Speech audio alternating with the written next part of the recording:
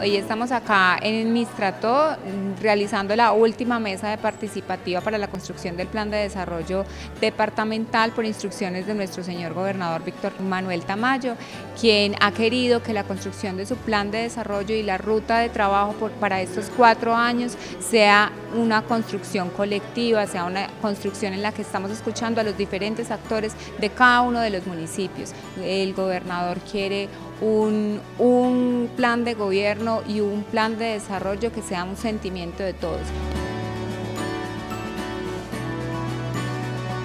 Y hemos estado supremamente contentos porque la comunidad eh, nos ha planteado en forma general prácticamente coincidido con los planteamientos que tenía el señor gobernador en campaña en su plan de desarrollo.